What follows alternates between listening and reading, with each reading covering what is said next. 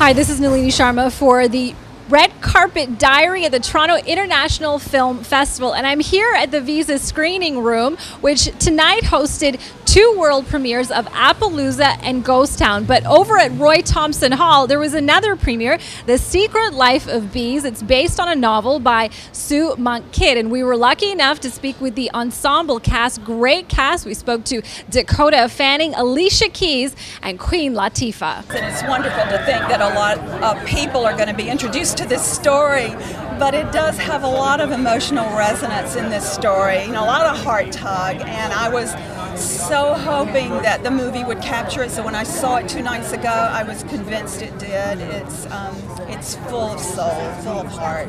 It was a long time coming before I got to film the movie because I had been kind of attached to the film for um, almost four years when we finally did it. So getting to actually be there filming it, I just felt so lucky to be able to, to do that. And it's all kind of coming together today, getting to see it actually on the screen. I'm just really excited. I love I love getting to see everybody again. I haven't seen Alicia in a while, so it was great to see her and to get to see the film too, since I haven't seen it yet. I really wanted to be a part of this from the beginning. It took on a couple of different phases, but when it came to me in its most recent phase that Gina wrote and directed, um, it just felt like a perfect description of the way you would do it from the book. And for me, I'm a fan of the book, and so I was really excited about it. It felt warm and honest. There was a lot of challenges in shooting this film. Uh, first of all, we, we were from Richmond, Virginia, and so there was a certain dialect that we all had to have, and we all had to definitely have a similar dialect. So we have Sophie, who's from London, myself, who's from New York, and Queen. Queen's actually, I think, from New York too. So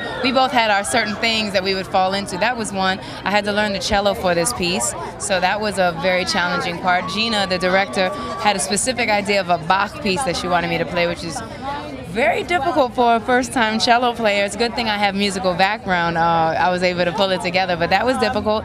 And also just to really embody June and her arc. You know, she is someone that truly just um, starts somewhere and, and, and becomes something totally different. So it was a lot to really pull up on. It was definitely tough, especially in, in like my research and learning about the civil rights movement.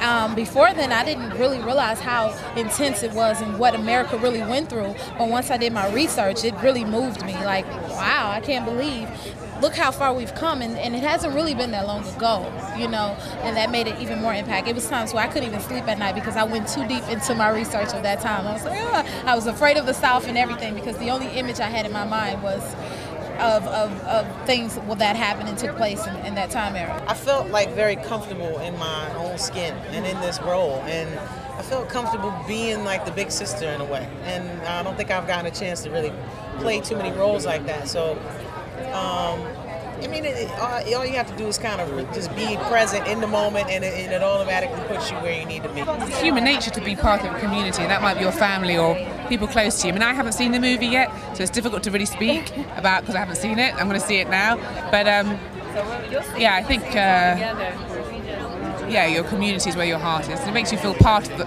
part of everything rather than a separate entity. Dakota's, I mean, she's hilarious.